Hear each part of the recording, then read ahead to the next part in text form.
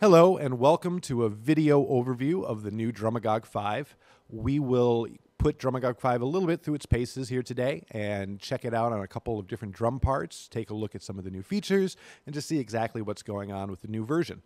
Here we have uh, Logic with uh, a basic little drum track. Uh, let's go ahead and just take a listen uh, just to the raw drums here. This is without any, any without Drumagog running on it.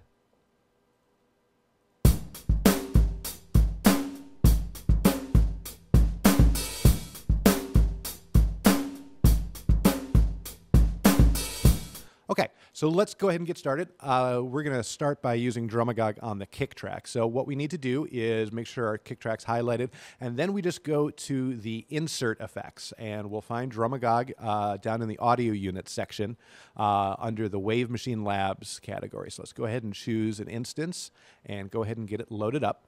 And here we have uh, the new Drumagog 5.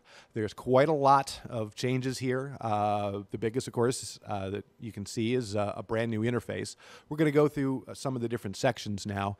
Um, and the first thing we need to do is uh, take a look at the upper left-hand section.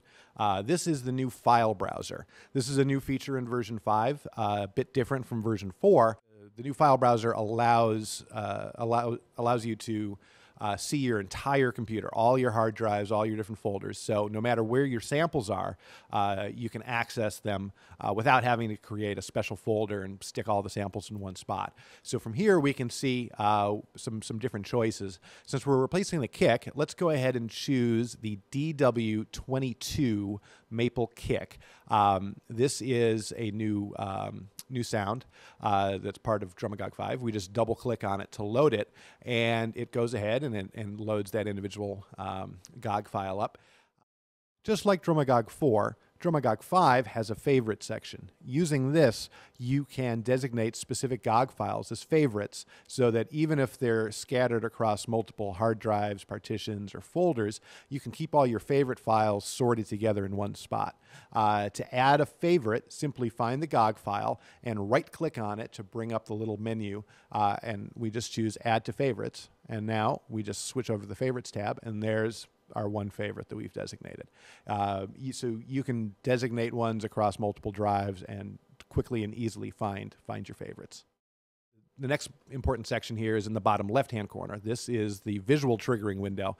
And what we're going to do is we're just going to start playing back the track, and you'll see uh, the audio from the kick track uh, coming through, and you'll be able to adjust the little sensitivity bar. Um, so here we can see uh, each of those little spikes is an individual kick drum hit, and we can adjust the sensitivity level up and down. Uh, what we want is we want all of the hits to be above that line. So if we raise it all the way to the top, it'll stop triggering altogether. Uh, if we bring it down to the bottom, uh, it might start triggering extra notes from the bleed through from the snare or the toms or, or uh, any of the other drums. So uh, it's real simple with the visual triggering window to just drag the sensitivity control uh, somewhere that's below the peaks but above the noise. So now we have the kick drum playing. Let's go ahead and solo um, that uh, uh, kick track. Let's move our interface out of the way a little bit. Now we can just hear the new sound.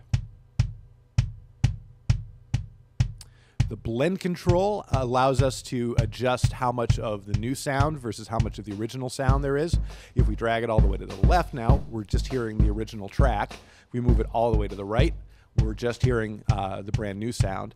And let's say um, you want to layer the two sounds together, which is one of the more common uses with, with Drumagog. Uh, we just move it towards the middle here, and now it's stacking both the new sound and uh, uh right on top of the old sound. Let's just take a listen to that here for a second. Okay, um, while that's playing, uh, if we look up at the top, uh, we see what it, uh, kind of under the hood, what it's doing. Um, we see some samples lighting up. Those are the individual samples that make up this particular GOG file. Um, one of the new features in Drumagog 5 is we can sort these samples. Uh, let's go ahead and change the sorting, and we're going to change it to uh, sorting it by peak uh, with, the, with the loudest samples at the top.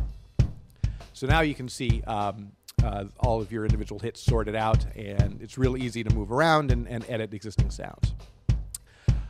One of the other really big features in, in Drumagog 5 is the new room samples. And if we look down here at the bottom in the what looks like a little mixer section, uh, we've got a couple of uh, uh, new options.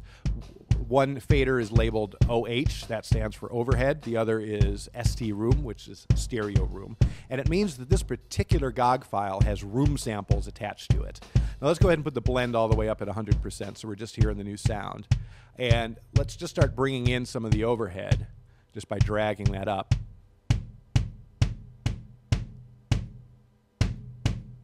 And you can hear a little bit more of the room, a little bit, um, uh, a little bit more stereo spread. Uh, both of these are, are stereo uh, rooms. Uh, let's go ahead and bring in the, the, the regular room here much more drastic. This is this was recorded about 20 feet away from the drum kit, um, and this particular GOG file is part of the Smart Studio collection. Those these are a bunch of drum samples that we recorded in Madison, Wisconsin, at uh, Smart Studio uh, in their great sounding room. So let's go ahead and, and uh, just listen a little bit and, and, tweak those room samples just a, just a tad. Because they were both recorded at the same time, it's the same hits, uh, and they'll blend together really, really well. They're not recorded separately or anything like that. So, um, just like just as just as if, if uh, you had tracked uh, both the overheads and the stereo rooms um, on a normal multi-track, you can just bring them in and out.